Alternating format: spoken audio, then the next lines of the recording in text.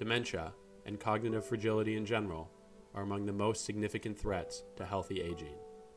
Recent studies have shown that one in four people in the US, 80 years and older, suffer from dementia.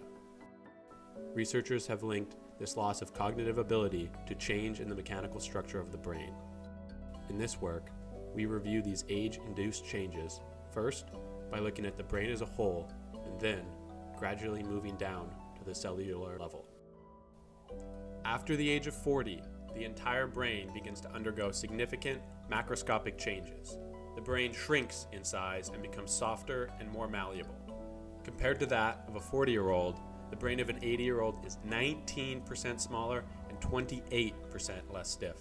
These changes disrupt the folding of the cortex, with different brain regions becoming either more or less folded. Another subtle change with age is a disruption to cerebral blood flow. Brain arteries become stiff, and the microvessel density decreases.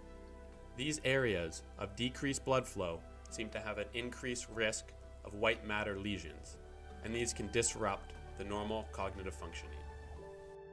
At the cellular level, neuronal loss and morphological changes in neurons, especially in the structure of dendrites, have been linked to cognitive impairments and behavioral changes in aging. As the brain ages, dendrites begin to exhibit shorter shafts and fewer spines and branches, which largely influence signaling mechanisms and synapse activity crucial to learning and information processing. Diving deeper into cellular mechanisms also shows that cell senescence contributes to brain aging. Senescent cells are cells that cease division but continue activity and secretory function in the body.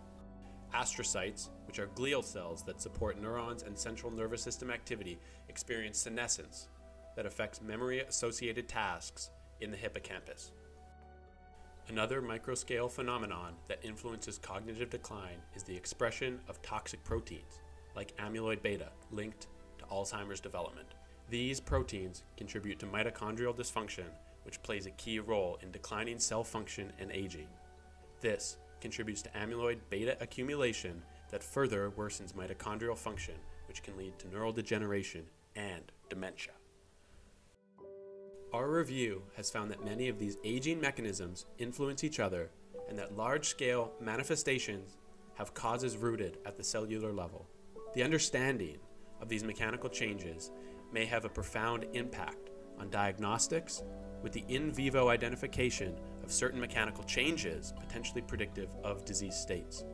Certain mechanical changes may also provide targets for the next generation of therapeutic drugs which attempt to slow or even completely halt cognitive decline.